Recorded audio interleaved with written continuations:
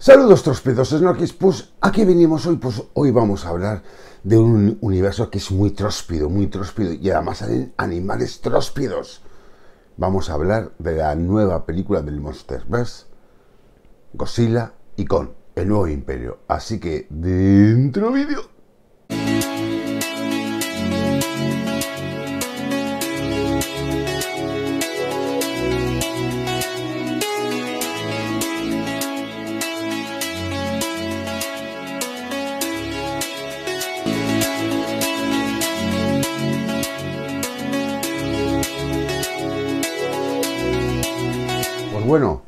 Bienvenidos a un Snorky Video, familia, familia tróspida, ya sabéis, a este canal, vuestro canal lleno de maldad y vileza, pero siempre friki, ya sabéis, la casa Snorky, donde encaben todos y de todo. Pues perdonad el retraso, pero es que no damos abasto, estamos entre trabajo, vacaciones, etcétera, y no, y no hemos podido llegar antes.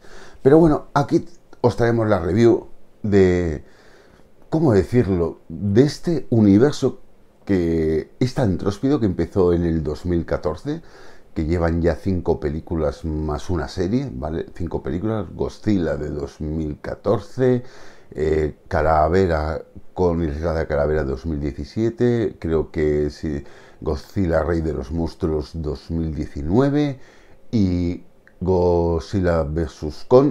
Eh, 2021 y ahora llega la, la quinta, que es Godzilla y Con el nuevo imperio, ¿vale? Más luego este año que hemos tenido también la serie de, de Monarch, ¿vale? Que ya os digo, no hace falta ver Monarch para ver las películas estas. Pues bueno, pues bueno, pues este es el universo, ese es su universo, y además es un universo tróspido, como a mí me gusta, con animales tróspidos, animales tróspidos. Donde hay animales tróspidos está la casa Snorky, ya lo sabéis, eso nos gusta. Pues bueno, esta película eh, está dirigida por Adam Wingard, que ya dirigió la anterior y que en los actores pues volvemos a tener en, los papeles principales que ya estuvieron en la otra. Tenemos a Rebecca Hall, eh, que sigue haciendo el mismo papel de ahí en Monarch, etc. Tenemos al actor Brian Tinen Henry, ese loco del podcast de de las cosas así paranoicas.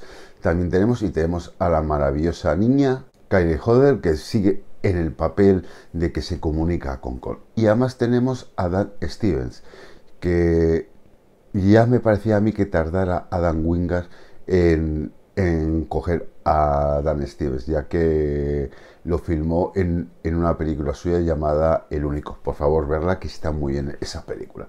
A mí me gustó mucho.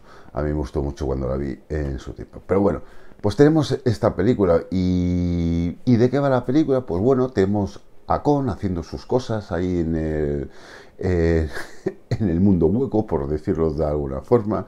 Y tenemos a Godzilla también haciendo sus cosas en la Tierra. Eh, son como, me recuerda a Hancock, eh, que os acordáis que Charlize Theron y, y, y nuestro querido Will Smith no se podían juntar, pues esto es lo mismo, no se pueden juntar porque si no se pelean y, y, tal y cual, y todo esto. Pero bueno, es una película que me lo he pasado muy bien, no esperaba nada, no, no, no me lo esperaba nada, pero es una película que me lo he pasado muy bien. Os digo, las críticas son las 2 de la mañana. Eh, acabo de salir del cine y llegar a casa hacía un frío y por eso no querido, eh, porque aquí está lloviendo en Valencia y no he querido hacer la crítica afuera porque prefería hacerla en casa, etcétera. Pero bueno, eh, nos lo hemos pasado muy bien viendo esta película. Eh, mm, me he divertido mucho. Y creo, y creo que es una buena película para desconectar, disfrutar buenos efectos especiales. Hay algún efecto mm, especial que raya un poquito, pero por lo demás, buenos efectos especiales. Eso sí, eh, Adam Wingard debe ser un alumno aventajado de Roland Emmerich, porque Roland Emmerich estaría, mmm, mal, eh, estaría orgullosísimo de Adam Wingard, porque madre mía, cuántos destrozos hay por el mundo. Roma, Sao Paulo, sale España, Cádiz, la bahía de Cádiz, sale Gibraltar también. etcétera, eh, y demás sitios, y lo destrozan todo, y no pasa nada. Y no pasa nada, bueno, sí pasa, pasa que destrozan monumentos, destrozan todos, etcétera. Me mola mucho esa, eh, donde recarga fuerzas eh, Godzilla, que es en, en el Coliseo eh, Romano, mola muchísimo en eso, pero es una película que ha habido momentos que no sé si estaba viendo Jurassic Park, ha habido momentos que estaba viendo Jurassic Park y hay otros momentos que me ha recordado a Transformers. Eh, sí, a Transformers también me ha recordado esta película cuando le ponen ese brazo mecánico a con, etcétera. Digo, ahora se va a convertir en, eh, eh, en una de las en un Transformers de estos, ¿cómo se llama? Bestias, me parece, ¿vale? Me ha recordado eso, digo, digo, madre mía, menuda mezcla que están haciendo de varias cosas, pero bueno, creo que la película funciona bastante bien, ¿eh? o sea, y aquí lo que te interesa es ver a Con y a Godzilla pegándose mamporros, pegándose todo el rato, etcétera.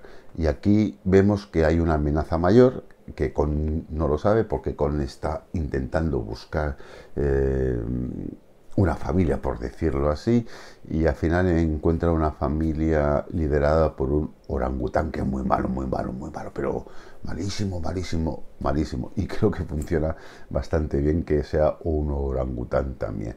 Y entonces aquí hacen equipo, aquí hacen equipo Godzilla y Con, y, te lo pasas muy bien viendo eso. Eh, eso también os digo una cosa, eh, los humanos creo que tienen, si la película dura dos horas, creo que si cogemos diez minutos de película es todo lo que hablan los humanos, etcétera. Y además me ha hecho gracia porque parece que mm, eh, los humanos son los traductores de los monstruos, porque cada, cada momento que iba pasando algo, los humanos te lo iban diciendo, ahora va a pasar esto, ahora va a pasar aquello, ahora vamos a ir aquí ahora porque Kong tiene que hacer esto, ahora porque Godzilla tiene que hacer esto. O sea, parece que, que, sean los, eh, los traductores de la película o los que cuentan la película. Si hubieran puesto subtítulos tampoco hubiera pasado nada. Te quitas a los humanos que no nos importan para nada, así lo digo, no nos importan para nada, y tira a la película para adelante. Eh, no hay escena créditos, ya os lo digo, no hay escenas créditos, no sé si la van a dejar en barbecho esta, esta saga o van a seguir con ella más adelante, pero parece ser que por ahora lo dejan ahí, pero creo que, está muy bien, o sea, eh, eh, creo que todas las destrucciones que sale, todo, todo lo que hay, mola. Además, nos encontramos a una nueva civilización eh, que está perdida ahí, eh, que es, eh, que la niña pertenece a ellos y como no hablan tampoco, pues a través de signos, etcétera, y de leer la mente y la telepatía, se saben lo que dicen los demás. hay momentos graciosos, pues bueno, pues hay, el momento cómico, el, momento eh, sarcástico, pues está bien, pero creo que la película funciona en ese sentido. Así que chicos, yo os la recomiendo verla en el cine en pantalla más grande posible, con el sonido más potente posible, porque funciona muy bien esta película. Yo me lo he pasado genial, te desconectas, guion, ¿para qué? Guión aquí, ¿para qué necesitamos guion? Si todo lo hace porque es un mago, pero a nosotros nos importa lo que haga un mago aquí en esta clase de películas, ¿no? Salen animales tróspidos, que es lo mejor que pueda haber, que salgan animales tróspidos, ¿vale? Y que hagan cosas. Además, el bestiario que aparece aquí me, ha recordado a Monarch, mogollón de, mm, de callos que van saliendo, etcétera, y creo que funciona muy bien esta película. Eso sí, no, está a la, a la altura de otras películas del Monsterverse, porque para mí las dos mejores son Godzilla, la de 2014, y sobre todo con, para mí, con La Isla de Calavera, me parece un peliculón donde los haya, pero bueno, pero ahí está, pero creo que funciona muy bien la película, eso sí, el guion no lo necesitamos, ya lo he dicho, no lo necesitamos, ¿para qué lo necesitamos, chicos? No lo necesitamos para nada, si aquí Da igual que lo hubieran escrito dos monos, que tres monos, que cuatro monos, o sea, da igual. Mm, mm, las cosas pasan porque sí, porque las ha hecho un mago, pero ¿nos importa? No. Pues tiramos para adelante, que lo que queremos es ver a Godzilla, a Con haciendo equipo. Esto es como si juntaras en los años 80 a Schwarzenegger y Stallone haciendo una película en su momento. Pues esto es lo que queríamos ver. Ahí, venga, pegándose mamporros contra otros, porque hay un mal mayor y una fuerza mayor y no sé qué, todo más mayor y, más fuerza.